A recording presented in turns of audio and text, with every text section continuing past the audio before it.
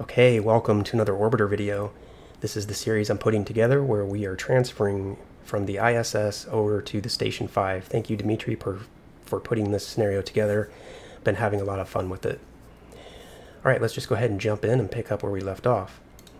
So, switch camera views, jump inside the XR2. So, in the previous video, we're setting up our, our rendezvous using IMFD and we're pretty well dialed in, but we just want to continue working with our uh, intercept time and our eject time just to make sure that we're, you know, getting the, uh, the best possible outcome we can.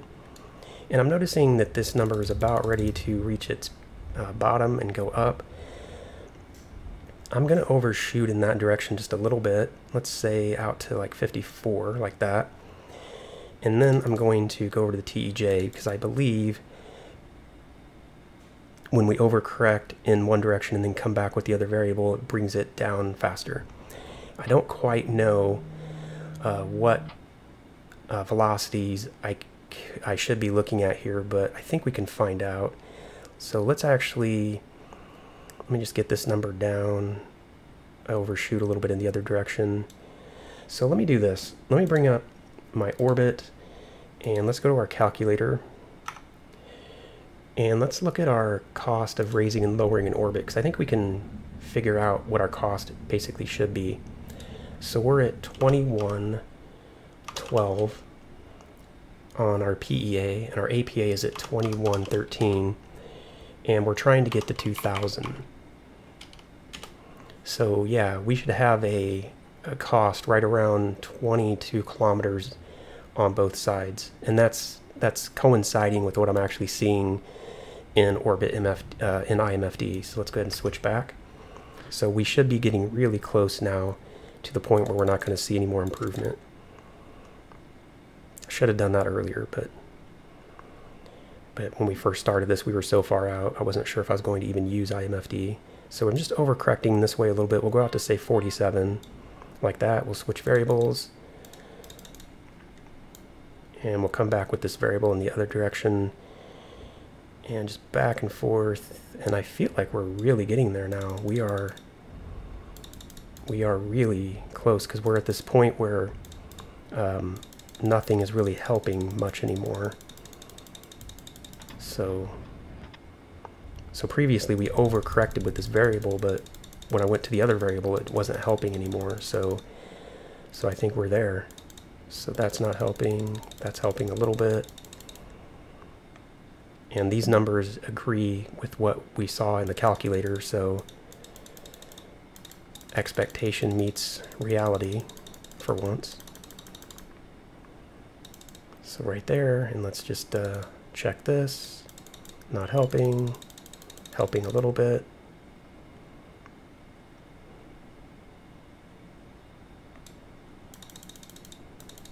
So we saw 10, 9 on the low side, 8, so right around there. And that's not helping. Helping a little bit, down to 7, 6. Yeah, this is maybe getting a bit ridiculous because now we're fussing over, you know, really, really insignificant amounts. But um, let's try to get 46 even, then we'll call it a day.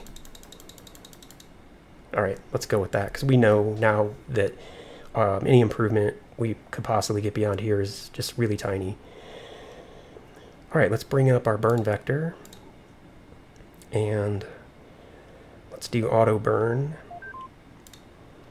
in 30,000 seconds. We have a ways to go. Let's go ahead and warp time forward.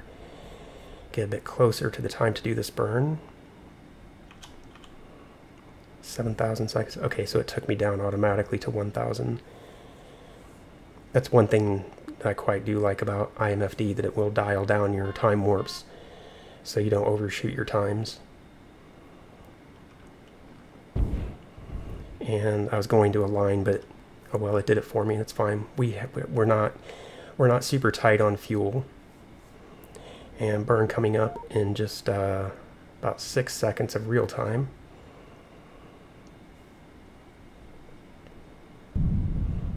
And here comes the burn. And it's done. Now, again, we don't know how far away we are. But if we bring up TransX, and maneuver mode is off, so our closest approach to station 5 should be about 100 meters, which is fine. Rotation. Translation. But yeah, I mean, if we want, we can do a bit of that. But yeah, not really worth messing with. Okay, so now let's bring up Pursuit MFD, because we're going to use that for docking. And we're going to go to dock, select our target, station 5, and one thing I do want to say about the Station 5 is that it has six docking ports, but they're like, they're set up so you have like three on one side and three on the other. The two outer ports are offset from the middle spinning point, and they're really, really hard to dock with. I, I don't even, I don't, I, Pursuit MFD, I, it can almost do it, but it doesn't seem like it can quite do it. So the point is we want to dock with either port 1 or port 4. We want one of those ports there on that center axis so that it makes things easy. But uh, first of all, we are 270 kilometers away, so let's go ahead and warp time forward. We really probably don't need to worry about uh, uh, braking burn or a velocity match because we saw that our encounter velocity is only going to be 20 meters a second. So we can get all the way up to the, uh, and there's the wheel. We can get pretty much all the way up to it before we worry about any kind of, um, you know, any kind of velocity match. I will go ahead and make sure that my retro doors are open. And I don't think I ever did close the the nose. No, I never did on the entire mission. Turn off the APU. And yeah, let's just uh, get closer to this thing. See our velocity vector coming around. Just a little bit out. And here comes the wheel. So now we just have to decide how close do we want to get. 3,000. 2,000. Um, let's get a bit closer. I think we'll go with that. Rotation.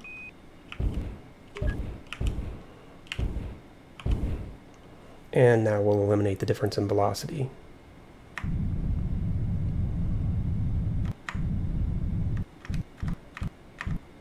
Translation. Okay, now again we will use Pursuit MFD to set all this up, but because because uh, Pursuit MFD or because MFDs in general aren't as efficient as we can be, what what we can do is we can start the alignment ourselves. Uh, if you want, you can just dial it on and Pursuit, Pursuit MFD, call it a day. But I like to try to be a little bit efficient. So I'm going to go to station 5, and I either want 1 or 4. I just don't know which one's in front and back. So that one's the one in back. I don't really want to go all the way around because I'm here. So I'll go with port 4 instead and put that on the HUD. And again, so that port 4 is in the middle, port 5 and 6 are on the outer edges, and good luck with that. So all I'm going to do rotation is translation. I'm going to translate over a bit this way. And I'm going to use time warp just to get myself closer to that point.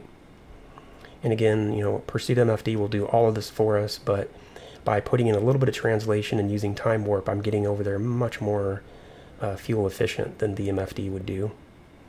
1,000.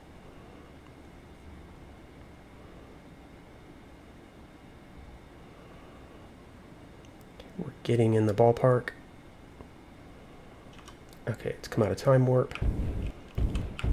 Let's put our velocity vector closer to that direction, and let's time warp. 900.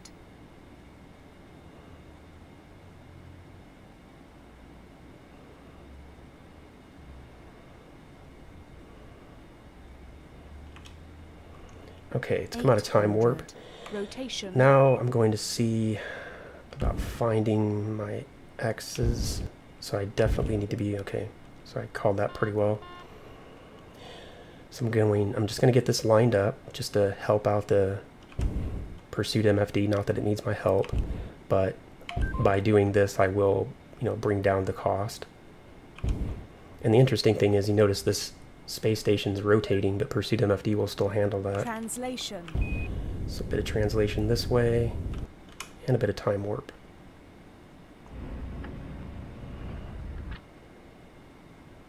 Seven hundred. So we're getting pretty close. So now let's translate up a little bit. Maybe bring in some of that translation and a bit of time warp. Come out of time warp and take out that up-down translation and now we just want pretty much straight in this direction. And there we are. I overshot that. Okay, but we're pretty close. So now I'm going to go ahead and let Pursuit MFD do the rest of the work. All right, so we have our, we haven't picked the ports yet. So our port is one, the port we're going to is four. And let me think, we want no roll to begin with until we're pretty well lined up, but we already pretty much are lined up. Now I'm going to program in my distance. Again, I want uh, 0 on my x because I don't want you know any difference in this direction and I want 0 on my y.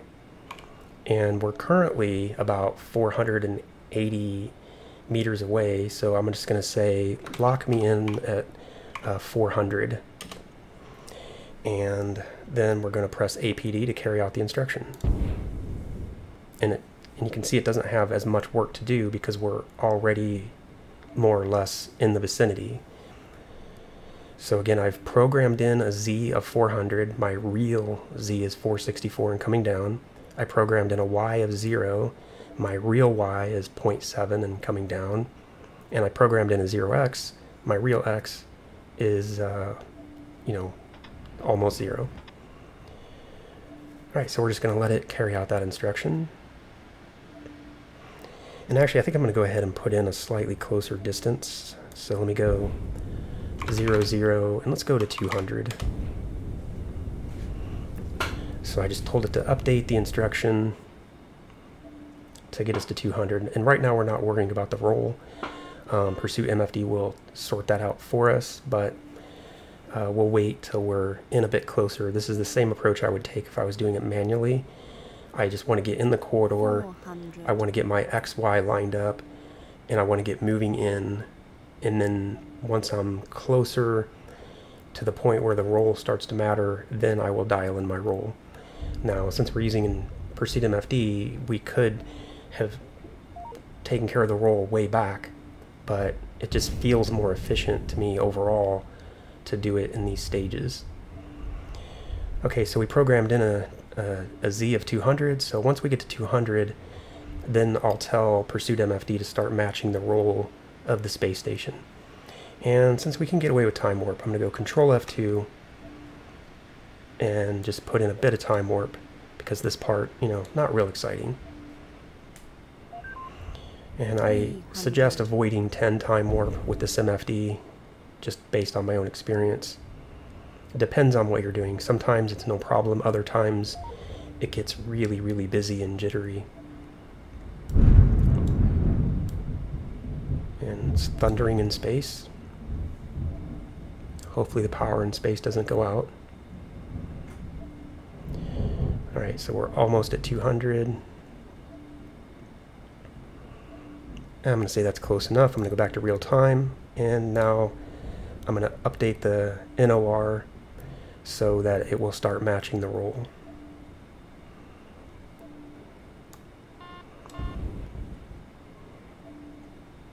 So I'm going to do a three time warp here. And now you can see that we're programmed in, we're 200 meters out, and our roll is matched. Let's look at the external just so you can see what that looks like. Get a better appreciation of what that looks like. Um, I'd like to get Earth in the background, a bit tricky, but there you go. I think that gives a pretty good idea of what's happening. Now we want to dock. So put in a new program, 0x, 0y, and negative 0.1. Enter. And yeah, by the time we get docked, It'll be close to our 20 minute mark. So that'll be a good time to wrap up this video, and that'll be the end of this series. Hope you enjoyed watching this. And yeah, if you think this mission's cool, let me know, and I'll uh, see about putting a link down in the description area where you can download this uh, this scenario. And it's a pretty it's a pretty lightweight scenario. I looked through the different directories, and it's not like you have you know tons and tons of files. There's just like one or two files in each one of the little subdirectories, so you can install it. And if you had any issue or whatever, it would be really easy to uninstall. Just delete those handful of files, basically. But this is for me. This is a keeper. This is an awesome mission. And I kind of want to revisit it again and try one of the other methods, you know, like plan two or plan four or maybe even plan five. Just kind of see how things compare.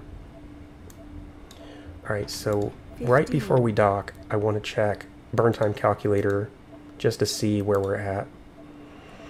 So our total DV, because once I dock, this won't mean anything, is 2.8. So we have a surplus of 2,850 meters per second, including. DV and RCS. Six. Five. Four. Three. Oops, on the other side. Two.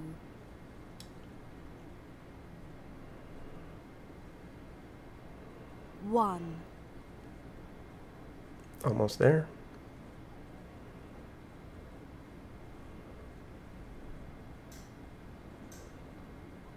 It gets in, it just barely puts in any velocity there in those last couple seconds. So it's a really, really delicate touch. Contact. There's our contact. Took a little bit longer there on the final contact than Ship I thought it would. docked. But yeah, that's it. We're docked. And that means we have the ability now to uh, turn on external cooling. External So we're not using our own O2 anymore. We have nine days of LOX left, so we had uh, plenty of time to to do this mission, which means if we wanted to dial things down even more, we could have raised our uh, we could have raised our apoapsis out even higher, and we would have brought down that plane change cost even more. And uh, the higher you go out, the more that plane change cost comes down. But also, the higher you go out, the longer it takes to orbit, and you quickly get to a point where you would spend well beyond the time that you have of LOX. So if you spend too much time, you'd have to plan on bringing a LOX module or something like that. That's going to wrap it up though. Let's just take another look at our external view because it's so cool. And switch camera views. Wrong camera view. Switch to that camera view. So I hope you enjoyed watching this video. Let me know what you thought. Uh, let, me, let me know what you think of the other plans. You know, if you were to fly this mission, what would you try? Would you be interested in doing the the uh, surfing the upper atmosphere? Would you be uh, brazen and willing enough to try that complicated moon sling and coming back down, or would you just take the uh, plan number two? You've got the fuel, so why not use it and uh, just squeak in there to the station five by the skin of your teeth with just a few delta V left. That's always fun. I love when I plan a mission and I give myself just that much delta V left over so that by the time I dock, it's like if that had been, you know, if there had been any error there at all, I wouldn't have made it. That's always fun. So I hope you enjoyed the mission, and I will see you in the next video, if there is one.